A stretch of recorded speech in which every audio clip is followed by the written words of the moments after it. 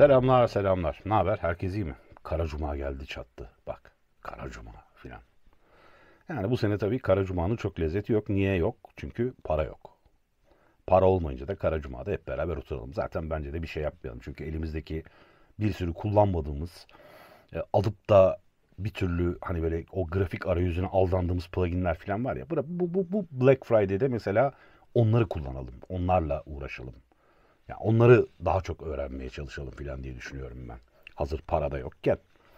Neyse şimdi kanalda şöyle gelişmeler oluyor. İşte bir sürü tanıtım videoları falan çektik. O tanıtım videolarıyla mix ve bu plugin videolarını falan artık ayrı kanallarda e, yayınlamaya karar verdim. Onları zaman içinde size duyuracağım. Bugün e, işimiz çok, lafı da çok uzatmak istemiyorum.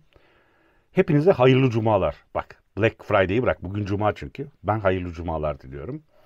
E, dün de öğretmenler günüydü bu arada. O bütün öğretmen arkadaşlarımın, ben de bir öğretmen olarak, aslında ben bir müzik öğretmeniyim. Onların da öğretmenler, geçmiş öğretmenler günlerini ve annemin de öğretmenler gününü kutluyorum. Bugünkü videomuz enteresan. Hadi bakalım. Evet, şimdi geldik bugün tanıtacağımız pluginlere. Bugün tanıtacağımız pluginler Techivation firmasına ait. Bu Techivation firması aslında yeni bir firma sayılır. Bir senelik bir firmaymış. Öyle duydum. Ee, işte geçenlerde de bir mail geldi pluginlerini falan böyle şey yaptılar. Sonra ben bir kompresörlerini test ettim. Bayıldım. Neden bayıldım onu da söyleyeyim. Ben e, arayüzü çok basit ve çok böyle şeyli e, pluginleri seviyorum.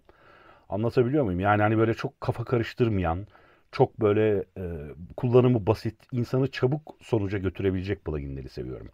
Şu arada da e, bu Black Friday dolayısıyla bir indirimleri varmış. 74 dolara düşmüş bütün bundle. Şimdi ben bugün bütün bundle'ı size anlatmayacağım. Çünkü bütün bundle'ı anlatırsak eğer hani bu iş uzadıkça uzar.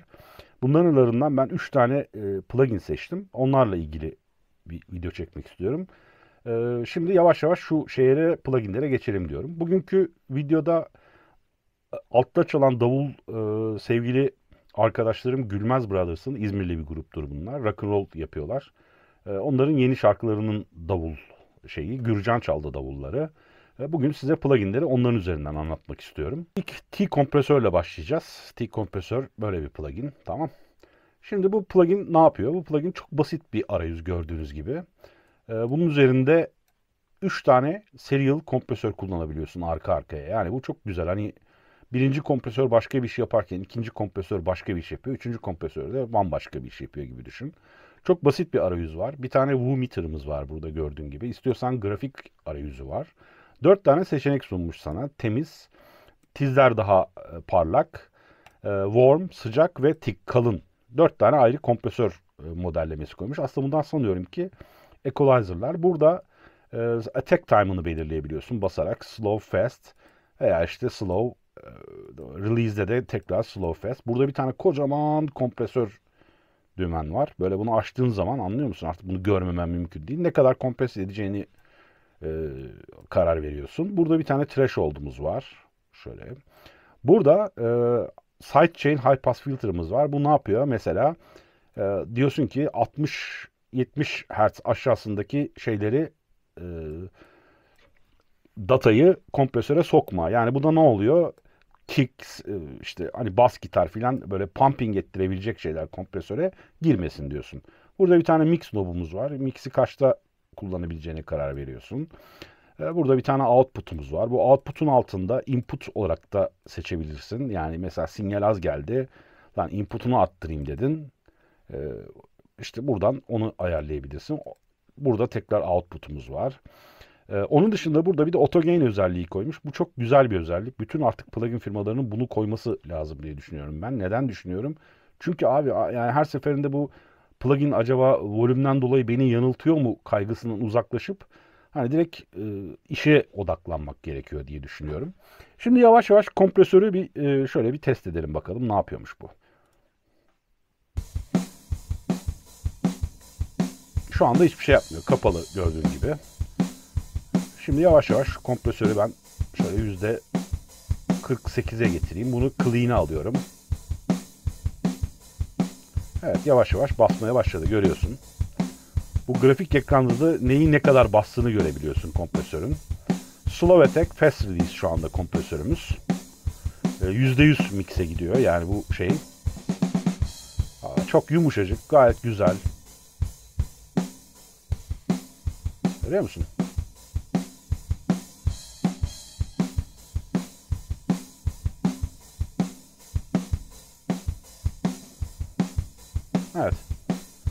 Şimdi bu birinci kompresörde geleyim. ikinci kompresörümüz var bir de burada biliyorsun. Bunları seri halde kullanıyoruz ya. Bunu da crisp yapayım. Yani daha böyle tizleri şöyle yapalım. Bu da slow e, slow attack slow release bir kompresör olsun mesela. Ve mix'e de ikinci kompresör %50 oranında gitsin istiyorum. Tamam. Görüyor musun? Tizlere dikkatinizi çekerim bakın. Tabii bu şeyleri kulaklıkla dinlemenizde fayda var bu arada. Lan dedim yetmedi ben kompresör manyağıyım. Anladın mı? Dedim ki ulan bir üçüncü açayım ben buna. Onu da en baba kalın kompresör kullanalım dedim. Ee, Slovatek Fast Release gene.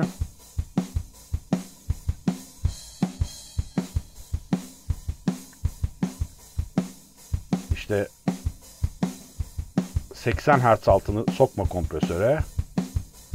Bunu %60'a getirdim mixine.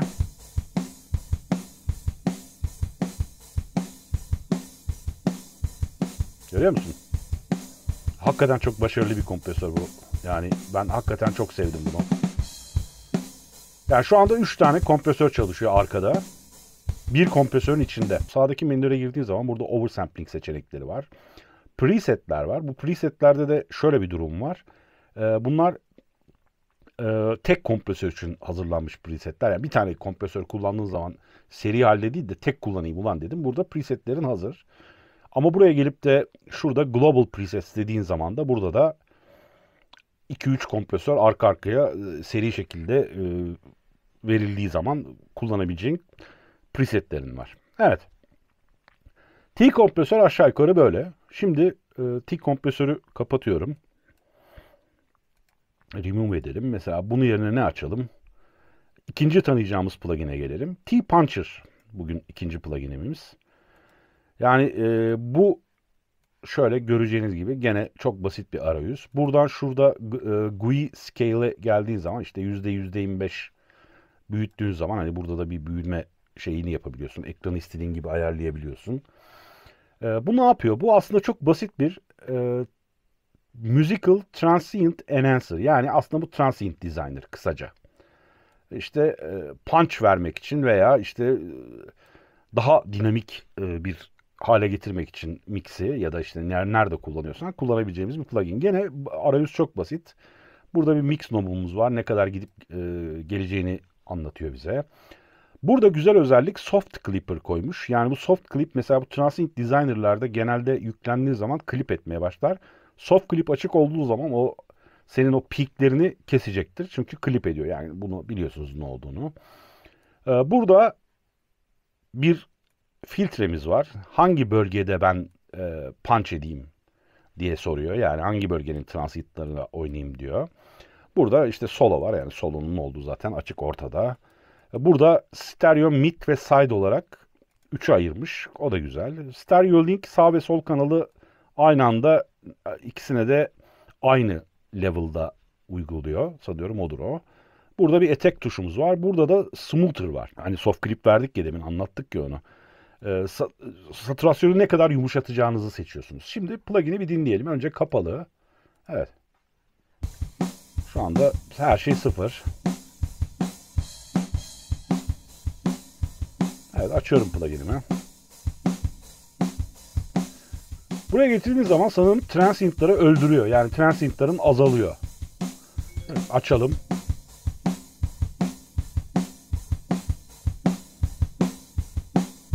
Şimdi bölgeyi seçtik. Buradan sola yapıp neler olup neler bittiğine bakalım. Görüyor musun?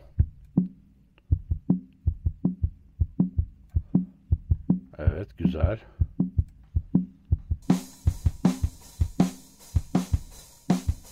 Burada etek tuşumuz var. Yavaş yavaş açıyorum. Duyuyor musun?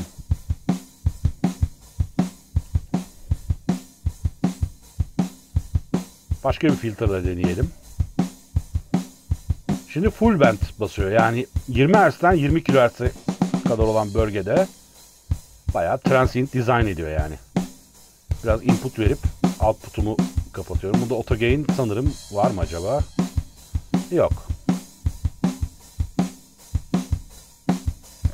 Presetlerimiz burada. Güzel de presetler koymuşlar. Duyuyor musun? Şimdi daha yumuşak punch ediyor. Ben yine şöyle yapacağım.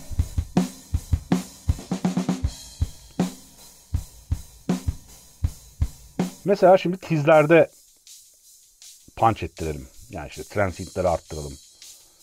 Bak şimdi.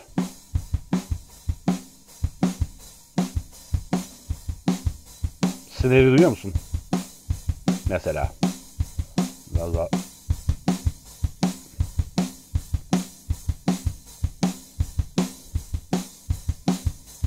Çok güzel ya. Hem, hem yani arayüz de çok güzel, kendi de çok güzel. Böyle olmalı yani plugin anlıyor musun?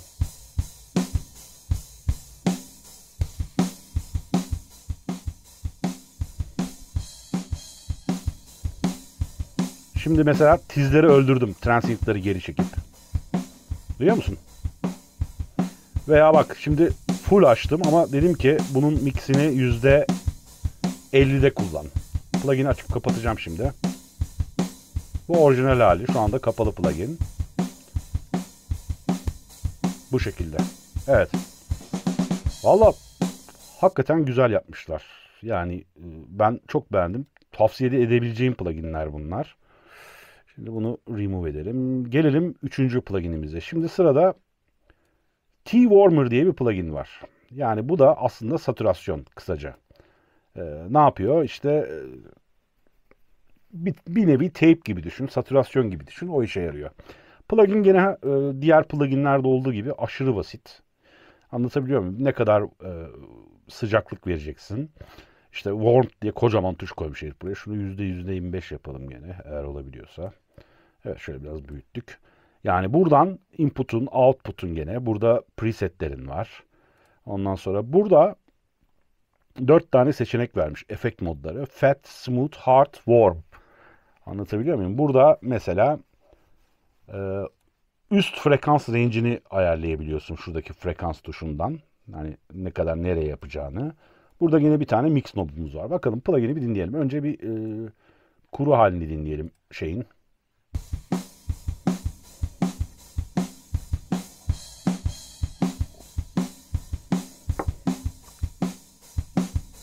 Evet güzel. Şimdi plugin'imizi açıyorum. Oo, duydun mu? Hemen geldi baba. Şu anda FET'teyiz. Bunu hard'a aldığım zaman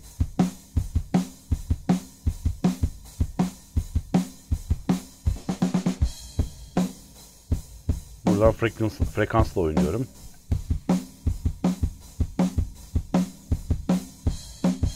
Miximizi biraz azaltalım.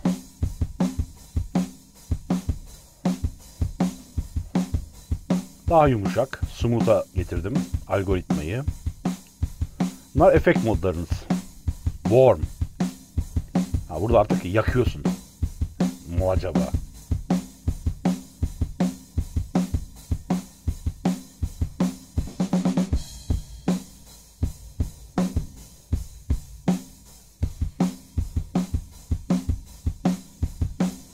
Çok güzel ya. Bak o kadar basit ki yani böyle olmalı. Evet hep aynı şeyi beşinci kez söylüyorum ama bu da Musical Sound Warmer. Yani bunun mesela ben vokalde falan da çok işe yarayacağını düşünüyorum. Presetlere de baktığın zaman zaten şöyle yapayım ben size. Presetlere de baktığın zaman vokale koymuş mu? Evet tabii koymuş. Bigger Voice. Synth için, piyano için, gitar için, drum için. Mesela kick Kick Exciter açtık şu anda filan. Evet bu da böyle gayet basit. Kullanımı kolay bir plugin. Evet. Ya aslında ben 3 tane plugin anlatacaktım ama şu anda görünce aklıma geldi. Buradan bir tane daha plugin var benim sevdiğim. Evet o da şunları kapatalım.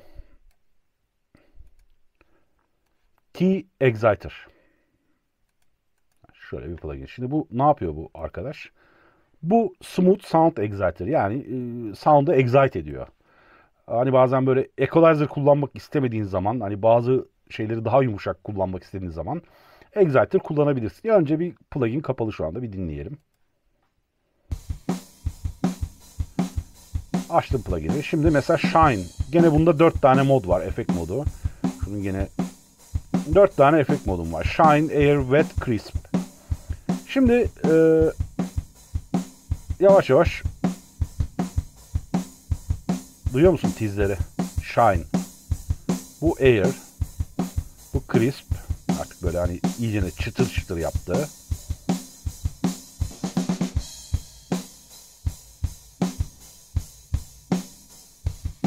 Burada bir de wet var. Şimdi bu wet tuşumuz var mesela burada. Bu ne yapıyormuş? Bak. Yukarıdaki o çıtır çıtır güzel tizleri duyuyor musun? Ya bazen bu tizleri equalizer'la yapamıyorsun, alamıyorsun. Ciddi söylüyorum. Bu width tuşu da stereo width'imizi ayarlıyor. Stereo genişliğin. Şimdi Air modunu aldım. Yani Air e, modunu aldım. Evet doğru söylemişim. Mesela miximizi %50'ye getiriyorum. Ama e, excitement, excitement'ı %100'e getirdim. Görüyor musun?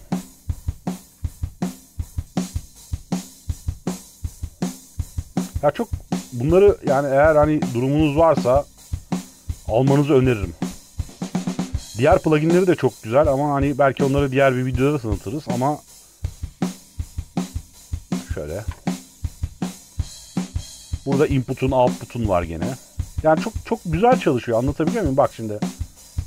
Orijinali buydu davulun. Buraya geldi. Ya tabii şu anda ben hani öyle biraz abartarak bazı ayarları yapıyorum ki görebilin diye.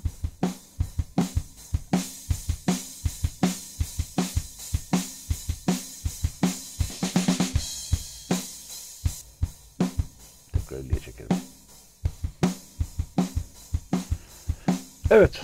Techivation pluginlerinden bu hafta 4 tanesini mi tanıttık? 4 tanesini tanıttık. Belki bir iki tane daha var. Neler var işte? E, ee, DSR'ları var bir tane. O da fena değil. Bir tane Stereo Imager var. Onu ben çok sevemedim.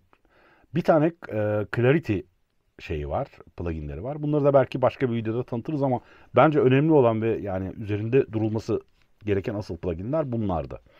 Şimdi e, şu kanala bir like filan edin. Yani algoritmayı filan oynatıyormuş da bilmem neymiş de öyle bir şeyler dedi birisi. Hani ihmal etmeyin bunu ki videolar devam etsin. Devamı gelsin. Bana da şevk gelsin filan. Çünkü hakikaten bu videoları çekerken ben zorlanıyorum. Yani programım dolu. Bir de bunlarla uğraşırken bazen tamamen film kopabiliyor. Neyse evet bugünkü videomuzda bu kadar oldu. Ee, bundan sonra sürekli video yayınlamak istiyorum. Yani kanalı hiç boş bırakmak istemiyorum. Ee, ama şimdi böyle bazen de şey oluyor hani kendimizi sıkıştırıyor gibi oluyoruz. Her pazar 6.30'da değil de sanki böyle hani önceden duyurarak iki gün sonra yeni video geliyor filan gibi yapmayı da düşünüyorum. Yani ona daha tam karar vermedim ama bir karar verirsem tabii sizinle paylaşacağım. Benim söyleyeceklerim bugünlük bu kadar. Bir dahaki Kara Cuma'da görüşmek üzere.